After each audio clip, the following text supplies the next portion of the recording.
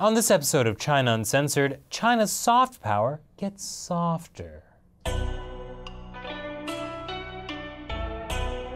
Hi, welcome to China Uncensored. I'm your host, Chris Chappell. China has once again decided to push hard for soft power. The most populous country on Earth is trying to create the most populous girl band on Earth. Now, China is no stranger to using female singers as a form of propaganda, like state-backed singer Ruhan Jia, who said her music is, quote, in line with the image of the Chinese government, which is apparently about sunshine. Or how about this female dance troupe that sings about China's new laws and regulations?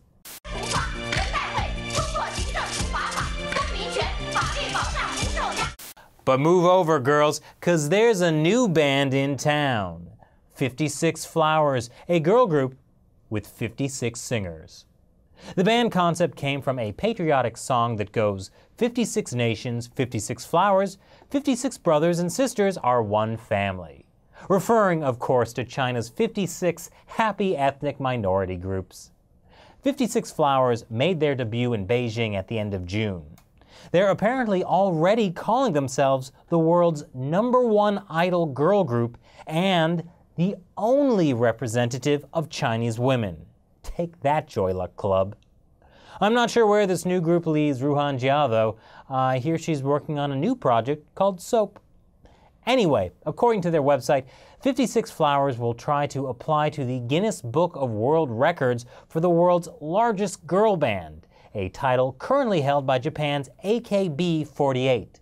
There is a little problem, however. AKB 48 has 140 members.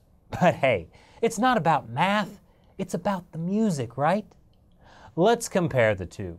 Here's AKB 48. Baby, baby, baby.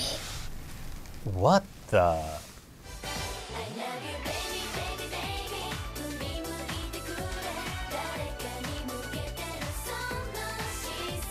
Um, okay. Well, that's Japan. But according to the director of 56 Flowers, they won't use that kind of cute and sexy appeal to win audiences. They'll promote China's positive energy. So let's see that positive energy.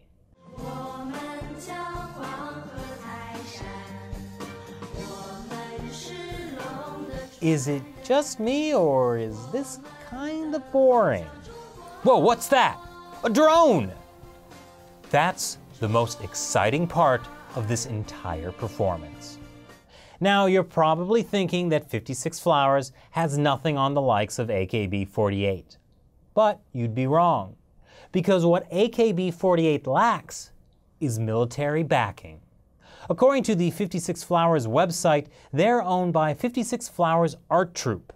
As Quartz points out, such troupes are usually affiliated with the People's Liberation Army in China, but the links to information about the owners are all broken, so it's hard to say for sure. So 56 Flowers might be backed by China's military. What do you have to say about that, AKB 48?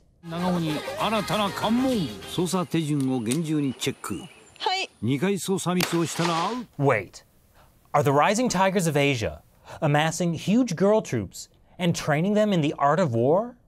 South Korea has Girls' Generation. Even North Korea has the Moranbong Band. The closest thing the US has to this kind of large scale band is this.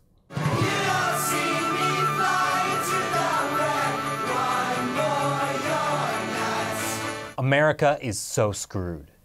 So, what do you think about China's number one idol girl group? And where can I get tickets? Leave your comments below and be sure to subscribe for more episodes of China Uncensored. I'm Chris Chappell. See you next time. Hey, Felicia, you want to call an Uber? What about a Didi Kuaidi? I have no idea what you just said. On this episode of China Uncensored, anybody who's foolish enough to threaten our family, vengeance will be mine!